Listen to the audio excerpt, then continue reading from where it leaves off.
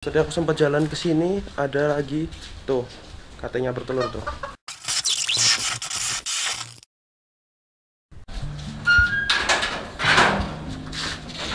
Silo banget coy. Halo guys, balik lagi di channel kita Zilla World. Silo banget. Hari ini langsung aja gak pakai kelamaan ya. Sesuai judulnya nemuin telur kate. Bukan guys. Ini nemu telur iguana.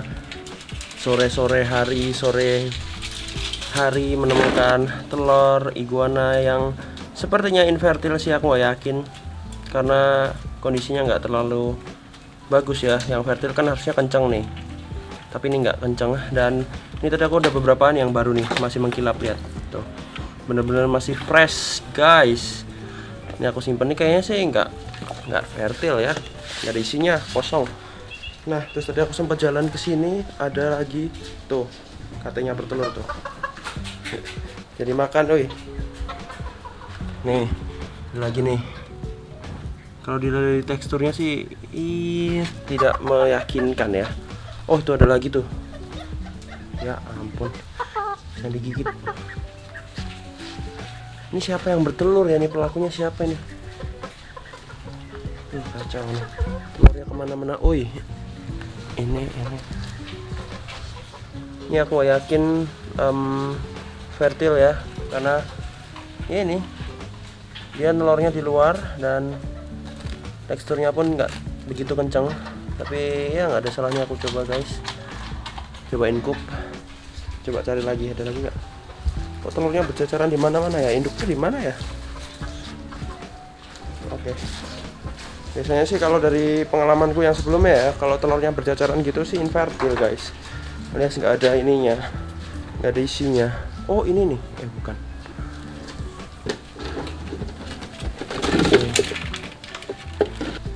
Oke. Guys kita cari pasir dulu. Ah. Sedikit aja. Karena untuk uh, mindahin ke inkubator aja. Tadi ada berapa butir ya? Satu dua ini kayaknya infertil sih. Tapi daripada dibuang ya karena nih kondisinya masih belum pecah juga. Masih utuh nggak ada salahnya kalau uh, aku coba inkup. Oke aku mau ke sini situ ada empat butir. Yang ini sih teksturnya sih ini ya kayak fertil cuy ntar sini coba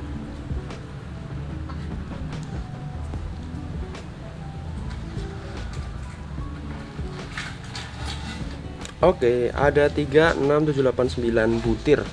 Yang jelas ini nggak mungkin belum nggak mungkin selesai. Mesti ada masih ada beberapa butir lagi di sekitar sini. Jadi telur-telurnya ada dua ekor, eh dua ekor, dua butir di situ. Lah, ini ngapain Ambon? Woi, ngapain sini, boy? Ini menyembunyikan telur. Nih, ini kenapa daun-daunnya nggak aku bersihin? karena ya nih gunanya bisa untuk si ambon bersembunyi bisa untuk hibernasi juga bisa untuk uh, menyesuaikan suhu badan juga dan ya udah bagus sini nggak ada cek lagi guys oke nah biasanya yang nyicil-nyicil seperti ini nanti akan bertelur lagi di satu hari yang sama ya biasanya. Mentok dua hari lah mereka akan nyicil untuk bertelurnya si iguana ini. Nah sembari kita menunggu ini kayaknya aku tutup pasir dulu.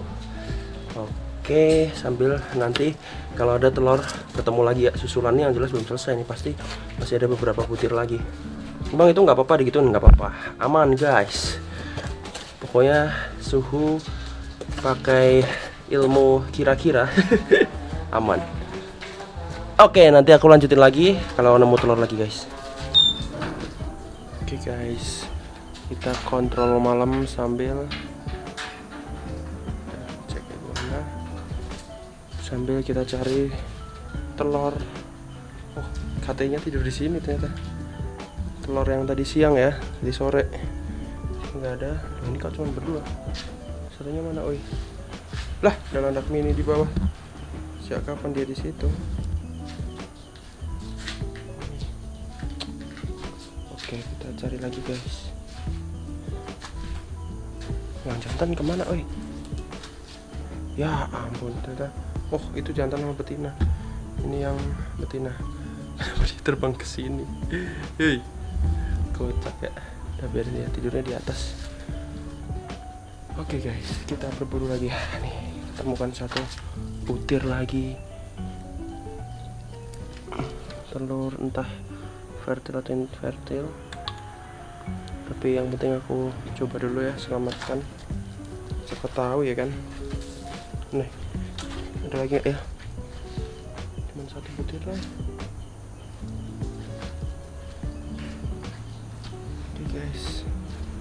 aku penasaran sih siapa yang bertelur ya? Sekitarnya tidak ada. Oke. Nah telur yang tadi aku taruh di sini guys yang tadi siang.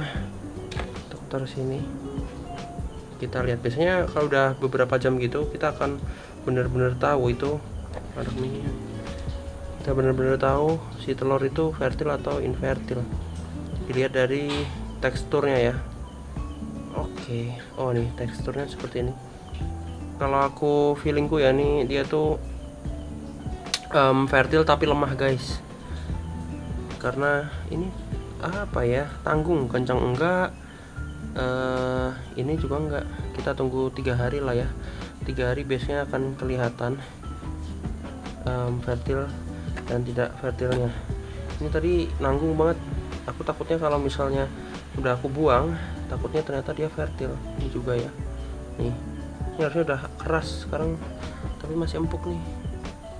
Jadi aku tinggal dulu dan aku tinggalnya nggak di inkubator guys. Aku mau tinggal di sini. Kita lakukan inkub alami.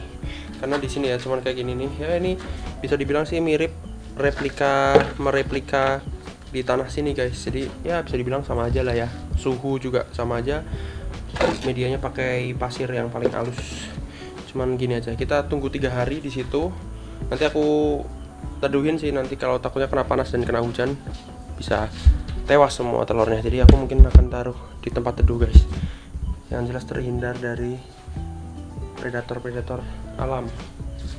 Oke seperti itu. Telurnya udah nggak ada lagi. Oh ya aku mau ini sekilas. Siapa yang bertelur? Aku tuh penasaran cuy. Kalau dugaanku ya itu ini loh nih ini ini guana tuh ini banget jampi. Tuh tuh tuh tuh tuh tuh, tuh. ya, ya ampun ampun ampun bro. Takutnya dia rabing. Itu jampi banget. Bener-bener betina jampi. Nggak pernah dihandle. Dan ya sama sekali nggak bisa dideketin. Yang lain tuh pada kalem-kalem guys. Cuman dia aja yang lari-larian. Dan ya udahlah aku nggak usah pegang. Kayaknya sih curiga aku sih dia feelingku yang bertelur. Dan kalau bener dia itu kayaknya infertil. Karena jangankan sama iguana lain sama aku aja dia langsung kabur mau dikasih makan. Jadi kayaknya sih tahun depan dia baru bisa dikawin lagi guys. Si Voldemort pasti kurus tapi anehnya dia makannya lancar bahkan rakus guys. Tapi nggak tahu nggak gendut-gendut sumpah nih. Ada yang pernah ngalamin gak nih? Coba tulis di komen ya yang pernah ngalamin. Ekor iguananya kurus mengkurus terus dia makannya tetap lancar. Kalau yang ekor kurus tapi makannya semakin berkurang semakin berkurang udah sering ya mesti banyak. Dan biasanya akan mati guys lewat kalau misalnya kena ekor kurus itu. Tapi yang ini ekor kurus tapi makan gila nih makannya banyak nih. Kenapa ya? Kamu kenapa sih Voldemort oke yang lainnya tidur tidur tidur. Sorry silau bro. Kita cek lagi siapa tahu ada telur yang kelewat. Nih ini ada ambon di sini nih. Tuh ada batok. Hei enak tidur situ ya? Oke oh ini puyuh. Puyuhnya tinggal tiga guys karena satu ekor aku kasih ke bimbo. Di sini ramai banget udah udah terlalu ramai oke. Ada lagi kan? Telur-telur halo. Oh aku belum cek di situ sih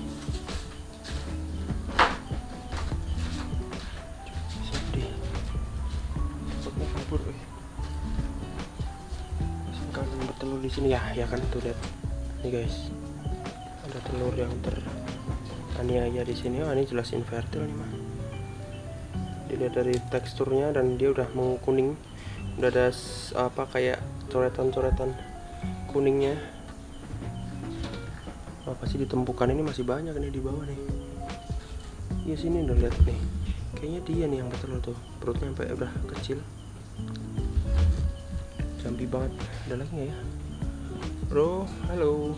Halo semuanya halo. Oke okay guys ini sepertinya akan jadi pakan untuk leher panjang aja lah. Jadi seperti itu uh, semuanya masih pada tidur. Semuanya lagi pada tidur. Dan aman. Yang kecil biasanya akan sembunyi di sini. Tuh lihat.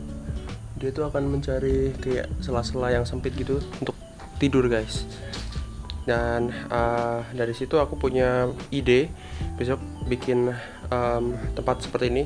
Tapi ada kayak sela-selanya guys. Jadi si iguana yang kecil-kecil bisa tidur di situ. Tapi besok ya. Karena ini masih ada sarang tiga ekor iguana yang bersarang di sini. Jadi kira-kira ya ada 100 butiran lah kurang lebihnya ada di areal sini guys. Dan nanti tunggu kira-kira November ya. Novemberan pada keluar dari tanah. Uh pasti mantap sekali. Yang ini tidak akan menetas. Oke okay, sepertinya kayak gitu dulu guys vlog kali ini. Uh, jadi kita udah mengamati ada beberapa telur iguana yang tercecer.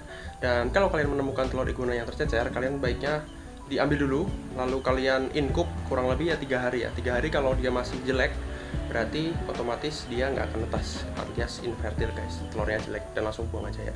Oke gitu dulu. Semoga bermanfaat buat kalian yang punya iguana atau mau breeding iguana. Pastikan subscribe like dan komen untuk mendukung channel ini agar tetap berkembang. Kita akan ketemu lagi di video selanjutnya. Semoga menginspirasi kalian yang punya iguana atau reptilanya bye bye